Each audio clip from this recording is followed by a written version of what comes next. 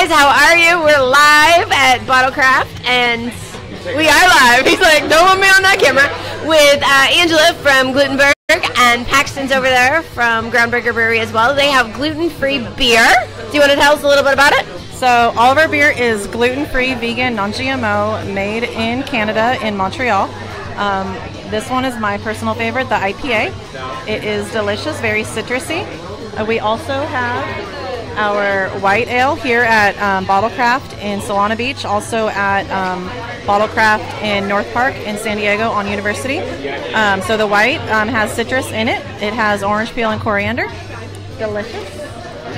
And then we are actually here premiering our stout. Um, we premiered it at the expo.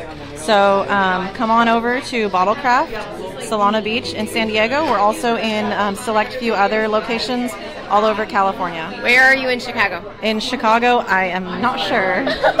so we are in we are in Chicago. Check your Whole Foods, your um, natural food store, Fresh Thyme. Um, yeah, anywhere where um, natural um, natural produce is sold, that's probably where your Glutenberg is going to be sold. So here in San Diego, we're actually at a bunch of smaller um, health food stores, and all over California, we're at the smaller health food stores, um, more so than any other store other than Whole Foods.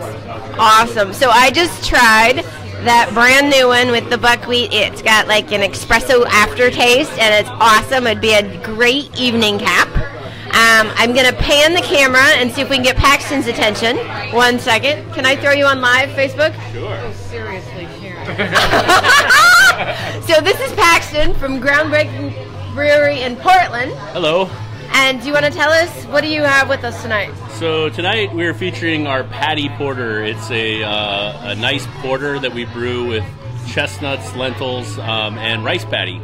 Um, and it has a lot of dark fruit, chocolate, coffee kind of flavors.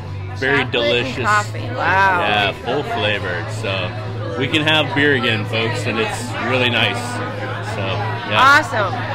And I did taste that one as well, and it was great flavor. It was creamy. It was a warm, very. Um, it was a full beer. It wasn't acidy. It wasn't fruity. It was really, really good. Very smooth. Um, and what I want to do with this beer is to do uh, ice cream floats or beer floats with it. Great idea. I think that would be uh, a fun thing to do. we got to so, come to Portland for those.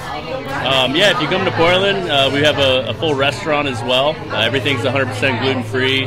Uh, so come on up and check us out, and we'll, we'll get you set up. Fabulous.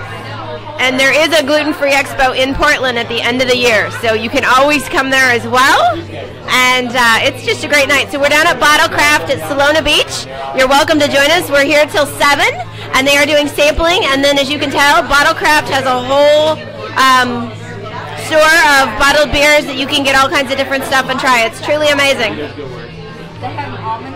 Bring some home. I don't think I can actually legally take beer in my suitcase. I don't think that'll happen, David.